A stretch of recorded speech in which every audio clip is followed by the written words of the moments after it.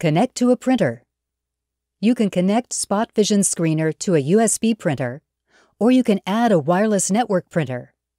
If connecting to a wireless printer, you need to first set up the network connection. See Connect to a wireless network video for instructions. Touch Tools, and then touch Printer. The available printer screen appears. Touch Plus.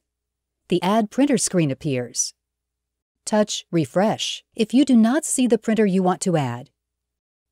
If the printer does not appear, consult the directions for use. Select the printer to add, and then touch Save. To verify the printer is installed correctly, select the printer on the available printer screen, then touch Print Test Page.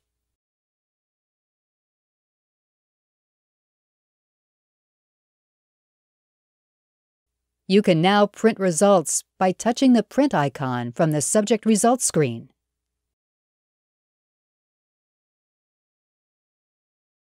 If you have difficulty connecting to a network or printer, see the directions for use.